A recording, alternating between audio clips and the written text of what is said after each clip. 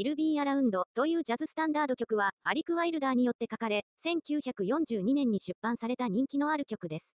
最初にレコーディングされたのは1942年にキャブ・キャロウェイと彼のオーケストラによってであり、最初のヒット曲は1943年にザ・ミルズ・ブラザーズによってレコーディングされ、ビルボード・ポップチャートで17位にランクインしました。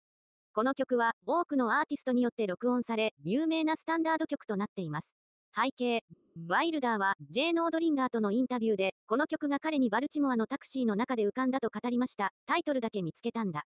数日後に封筒をくしゃくしゃにしていた時に、タイトルに着想を得て曲を書いたんだ。20分くらいで曲はできた。歌詞は書くのにはるかに時間がかかったように覚えている。曲は AABA の32小節、キーは C メジャーです。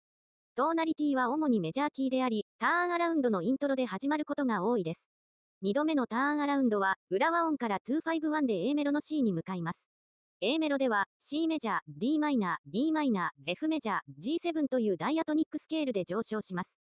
G シャープディミニッシュは次の A 分の F へ向けてのパッシングディミニッシュであり、そこから B 分の G7 へ移行し、C メジャーに戻ります。後半はイントロと同じターンアラウンドとその裏コードです。A メロの繰り返しでは、最後の2小節で C メジャー、D マイナー、B フラットディミニッシュ、そして E 分の C でベースが半音上昇します。次の B メロでは A フラット分の D フラット7と G マイナー7が現れます。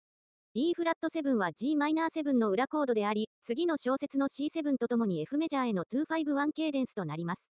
A フラット7は D マイナー7の裏コードであり、G7 とともに C への251ケーデンスとなります。ブリッジの最後ではターンアラウンドで3回目の A メロに戻ります。この曲は非常にシンプルでベーシックなバラードですね。